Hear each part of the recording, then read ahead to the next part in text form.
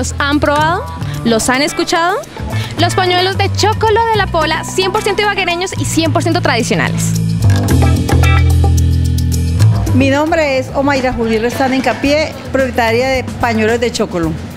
Eh, algo que creé hace 15 años para los exquisitos paladares de los ibaguereños. Los originales. Judy Restán es una mujer emprendedora que hizo de una receta propia la oportunidad de su vida.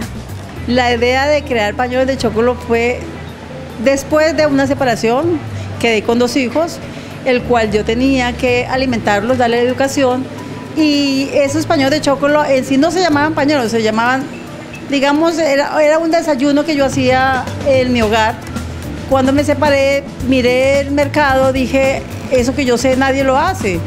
Eso que yo me inventé, nadie lo, nadie lo tiene. Entonces que dije, pues vamos a, ver cómo, cómo hacemos de eso pues algo comercial.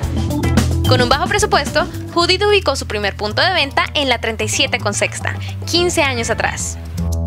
Solamente empecé con el de quesillo y leche condensada porque es que tengo un problema con el dulce que me encanta. Entonces empecé con el de quesillo y leche condensada. Después, cuando mi hijo cumplió años, inventé el hawaiano porque quería hacerle una torta o algo, pero la verdad es que por el problema de, económico, pues no había en ese momento para hacerle una gran torta. Mi hijo cumplía 18 años. Entonces eh, opté por comprar eh, piña, piña y, este y, y, le, y, leche salchichón de pollo y leche salchichón de pollo, quesillo, piña melada y leche condensada, ahí salió hawaiano. Luego de cuatro años de estar ubicados en esa esquina, los pañuelos de chocolo se trasladaron para La Pola, su actual ubicación, y mientras el negocio crecía, los sabores de los pañuelos no se quedaban atrás. Después me ubiqué aquí en La Pola, arrendada, y ahí vinieron cinco sabores más y en ese momento tengo, como pueden ver, tengo muchísimos sabores, tengo más de 20 sabores eh, para los paladares exquisitos de los ibaguereños. Además, eh, quiero decirles que soy la única marca registrada, del cual quiero que quede muy claro que la gente sepa que los pañuelos de chocolo solamente están ubicados en La Pola, son los originales. Sí, señor, los pañuelos de chocolo son únicos, originales y sin sucursales. Judy Restán no solo es la propietaria de los pañuelos de chocolo, los originales, sino que también es una empresaria que genera y da empleo a las mujeres de Ibagué y principalmente a las madres cabeza de familia. Si hablamos de los empleos directos que, fomento aquí en Pañuelos de Chocolo, tengo tres mujeres muy, muy emprendedoras, muy luchadoras que hacen el rato están conmigo.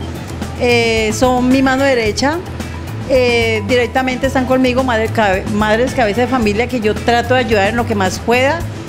Eh, la verdad es que yo creo que las empresas deberían de, guiarse por ese lado, de ayudar a la mujer.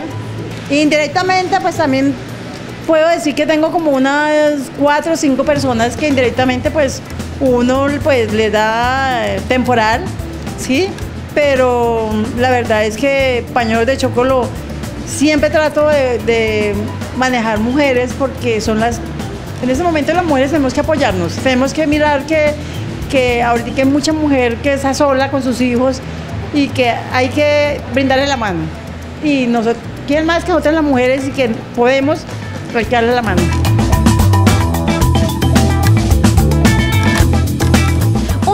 creada pulso, esos son los pañuelos de chocolo. Una comida bastante apetecida con una receta codiciada. Y ahora la tendremos para ustedes.